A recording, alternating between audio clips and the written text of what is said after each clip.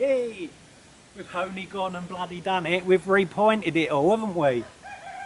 Oh, look at that. Do you know what? I it, This has taken like nearly two weeks to do. And um, it was like every single day. And it was getting that bad that um, I even woke up in the middle of the night and I was repointing my bloody pillar. It's been a complete nightmare. Anyway, this video is not about this blinking wall. It's about things not going too right down at the beehive. So let's get suited and booted and um, get on down there.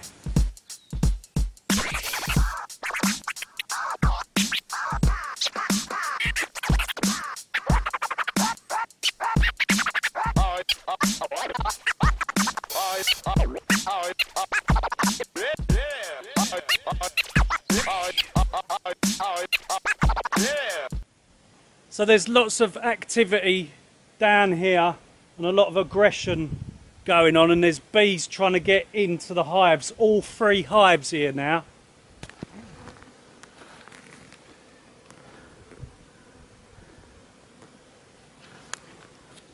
You can see you can see like these bees, they seem to be darker in colour. They're just trying to get into any little gap in the hive. As you can see, look down there, they're trying to get into that hive. So what we've done is we've, we've blocked up all three holes and just left this tiny, tiny little hole here. Can you see that? It's just big enough for one bee to get in at a time. And that will allow them to guard their honey reserves. We've done the same on this hive.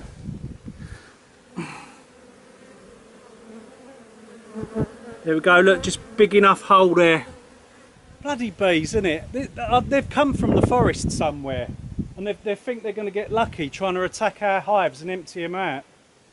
This hive is absolutely massive. It, it, it is just full up with bees from front to back. So they're going to have a right mortal combat going on trying to get in there. And there's even wasps trying to join in on the frenzy but they're not getting in.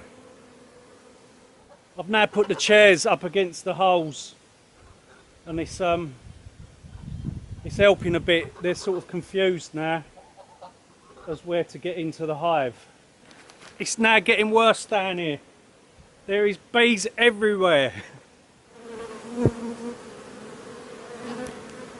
Occasionally you can see like bees locked in mortal combat on the floor. There's some there now. There's some there fighting, trying to save their hive.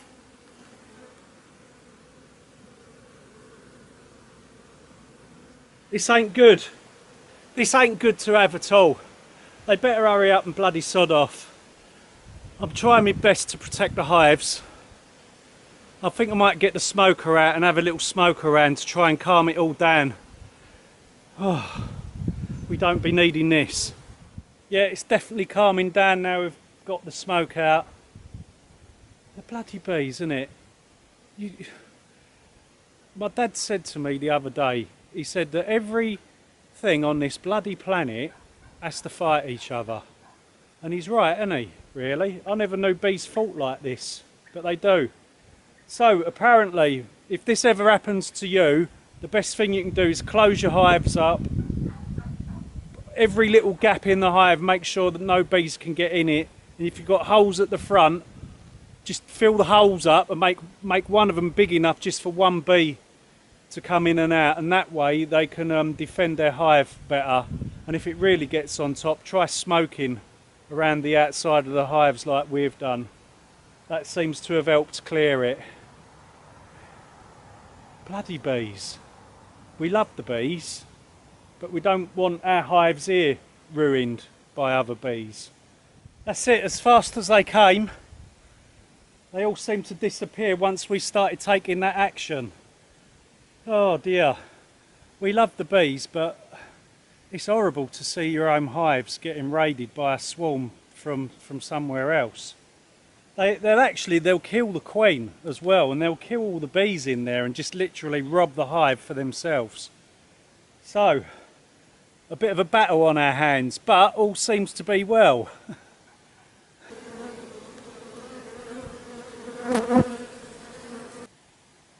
If the reserves the honey reserves have gone down get a jar put holes in it no bigger than a drawing pin head like the holes in there, and make a mixture up of 50 parts white refined sugar to 50 parts water.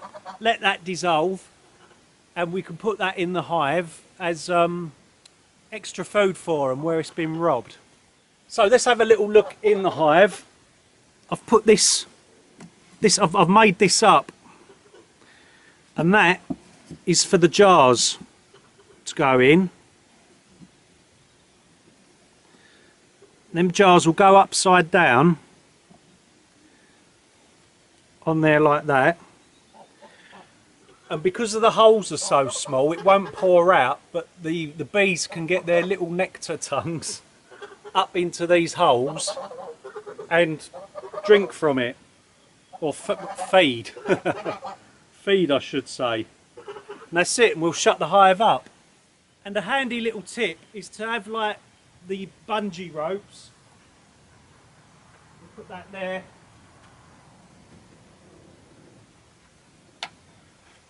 And then that's secured in case there's high winds and the lid won't blow off then, will it?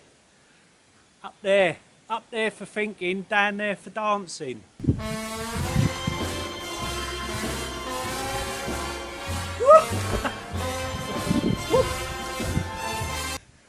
Tomatoes, they're blinking everywhere. We're going to have to have a tomato festival, and it, what is it, Tomatillo Festival or something, I don't know. Eh, so let's have a little reflect on what possibly caused that down there.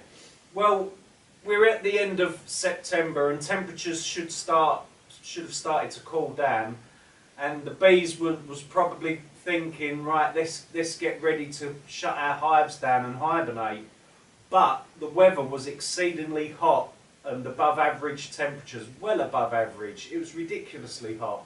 So I think that the bees all came out to carry on foraging, but because of the plants and all of the, the wild flowers and everything had done their job, they'd all flowered, they'd produced seeds and died off, thus producing less nectar for the bees. So the bees thought that they would um, come hunting and, and robbing hives. This situation is quite common if you get this scenario. It's very common. And it's all about being close to nature really and, and noticing what's, what's going on around you. For the people who live in the towns and don't take much notice of nature, this exceedingly hot weather it's just like, yeah, crack a beer and let's get the ice cream out. It ain't like that in real life. This is the real life, being close to nature, knowing what's going on, not blinking, chasing pounds and things like that. It's, it's the wrong way to go about life, is, chasing the pound all day long and just ignoring the actual environment and, uh, it, anyway. Well, that brings us to the end of another day and also to the end of another video. Isn't that a beautiful sunset, eh? So take care. Thanks to everyone. Thanks for popping by. Thank you so, so much. And I'll see you on the next video. Take care. Stay safe. Bye.